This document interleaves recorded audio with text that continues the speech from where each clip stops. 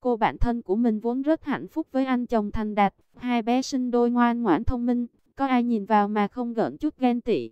Vậy mà một ngày, cô bạn gọi điện nức nở khóc lóc, chồng mình có người khác rồi. Hóa ra trên đời chẳng có gì là hoàn hảo. Bạn mới bước sang tuổi 35.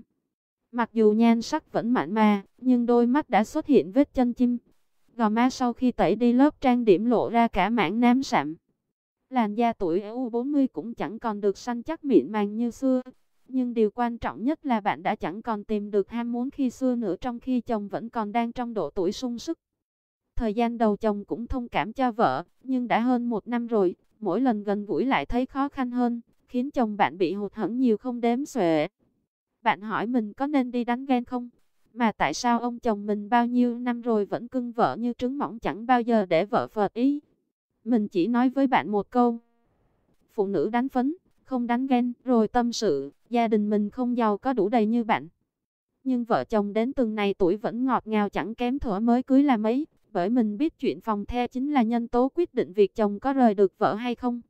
Mình biết phụ nữ từ tuổi 25 đã bắt đầu lão hoa, không chỉ vẻ bề ngoài mà cả nội tiết tố trong cơ thể cũng bắt đầu giảm sút thấy rõ. Nhất là khi bước sang tuổi 30, lúc đó da mình sạm đi, không còn săn chắc. Chuyện ấy cũng tự nhiên thưa dần chỉ bởi vì mình cảm thấy ít ham muốn và không tránh khỏi việc khô hạn. Lúc đó cũng hoảng lắm, lên các diễn đàn hội nhóm chị em hỏi han, cuối cùng cũng tìm được hồi xuân câu câu. Chính là vị cứu tinh của đời mình.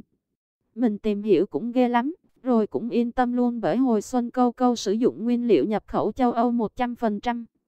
Lại đều là dưỡng chất tự nhiên như tinh chất mầm đậu nành và nho thai cừu giúp bổ sung con AGN và nội tiết tố nữ cần thiết. Nên cực kỳ an toàn cho sức khỏe. Hồi xuân câu câu còn được bào chế bằng công nghệ hiện đại đạt tiêu chuẩn GMPDHO, được kiểm định nghiêm ngặt về chất lượng nên mình quyết định không lăn tăn gì nữa. Mình dùng có nửa lọ đã thấy cải thiện rõ rệt, thâm nám giảm đến 60%. Làn da như được tưới nước mềm mại và đàn hồi gấp nhiều lần trước đó. Và điều quan trọng nhất là mình hoàn toàn hết khô hạn.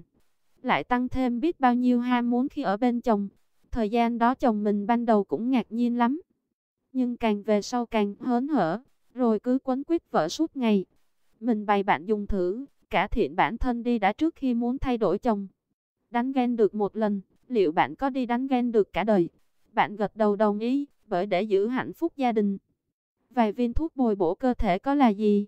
Sẵn có trong túi lọ còn, mình đưa bạn luôn. Thời gian đầu mới dùng thuốc cô bạn cũng lo lắng hỏi han mình nhiều. Thế là mỗi ngày lại nấu cháo điện thoại cả tiếng đồng hồ vừa buôn chuyện vừa kim vai trò tư vấn. Hàng ngày bạn chăm chỉ uống thuốc. Chịu khó đi spa chăm sóc làm đẹp, mỗi ngày trên bàn ăn lại có thêm mấy món ngon. Mỗi ngày soi gương lại thấy cơ thể thay đổi thêm một chút ít.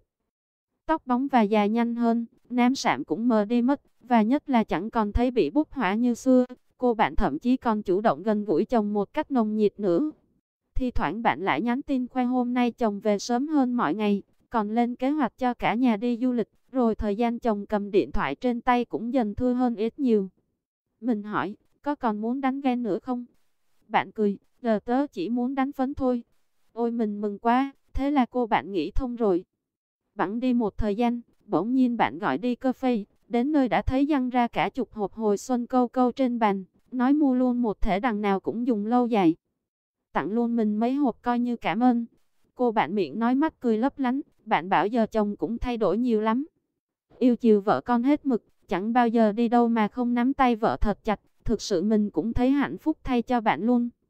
Cũng bởi vì chính bản thân mình và cô bạn thân đã thực sự trải nghiệm nên hôm nay mình mới quyết tâm chia sẻ vũ khí bí mật này với các chị em. Để mọi người đều tìm được hạnh phúc trong câu chuyện của chính mình.